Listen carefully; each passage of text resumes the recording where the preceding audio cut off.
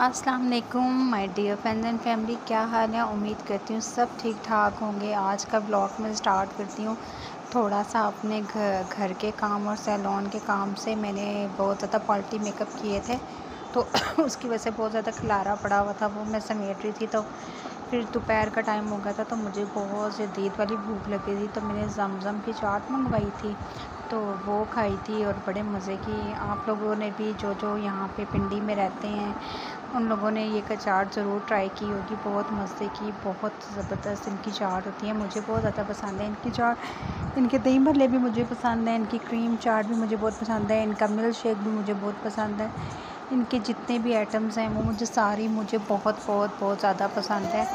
आज का ब्लॉग मैं बना रही थी, बनाते बनाते जो था बस आज का ब्लॉग और कल का ब्लॉग के दो ब्लॉग हैं जो मैं आपके साथ शेयर कर रही हूँ। तो पहले दिन तो मैं बहुत ज़्यादा खुश थी, घर का काम शाम करके। फ्री वगैरह हुई थी तो मैंने जो था खाने में कुछ इतना ख़ास नहीं बनाया था, लेकिन ये दिन के टाइम मैंने चाट मंगवा ली थी, लेकिन अगले दिन सुबह का जब टाइम हुआ तो मैं बच्चों को स्कूल छोड़ के वापस आ रही थी तो हमारे, मेरे जो घर में मेरे किराएदार रहते हैं, आंटी उनको ब्रेन ट्यूमर था। उनको ब्रेन ट्यूमर था और उनकी बहुत ज़्यादा सीरियस कंडीशन थी, लेकिन उनका ऑपरेशन हो चुका था, उनका ऑपरेशन जो था कामयाब भी हो गया था और बहुत अच्छी थी, बहुत अच्छी थी। अल्लाह पाक उनका बहुत जहान अच्छा करे, मुझसे बहुत ज़्यादा प्यार करती थी। जब भी मैं ऊपर नीचे जाती थी, मुझे देखती थी तो मुझसे बहुत अच्छी बातें करती थी, मुझसे बहुत प्यार करती थी। तो बस दो दिन में इतनी ज़्यादा मसरूफ़ थी कि मैं उनसे नहीं मिल सकी। तो अचानक से उनकी तबीयत ख़राब हुई। मैं आपके साथ ये पूरी बात इसलिए शेयर कर रही हूँ कि मेरा दिल उनकी वजह से बहुत ज़्यादा परेशान है, बहुत बहुत ज़्यादा परेशान है कि अब मैं जब नीचे उतरती हूँ तो मुझे कोई नज़र नहीं आता। अल्लाह पाक उनका वो जहान इतना अच्छा करें, उनकी आने वाली मुश्किलें आसान करें। और उनके बच्चों को अल्लाह पाक सब्र दे। और जैसा कि उनकी एक बेटी है, उसको तो बिल्कुल भी सब्र नहीं आ रहा था। उसकी इतनी ज़्यादा हालत ख़राब हुई हुई थी, वो बार बार बेहोश हो रही थी। तो मैंने कहा, मैं आपके साथ अपनी छोटी सी एक बात शेयर करती हूँ। तो ये नेक्स्ट दिन का ब्लॉग है।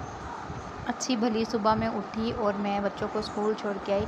और मैं ये शाम के लिए चप्पल ख्वाब का सामान रेडी कर रही थी। ये मेरे हस्बैंड ने कीमा करके दिया था मुझे तो तैयारी, सारा मसाले वगैरह भी उन्होंने ही डाले थे, लेकिन बस वैसे ही मैं इसके बीच में चम्मच कहते हैं ना, ख्वाब में हड्डी बन रही थी तो अचानक से तैयारी करने के बाद मेरे पास कुछ अल्फाज नहीं है कि मैं आपको बयान कर सकूँ।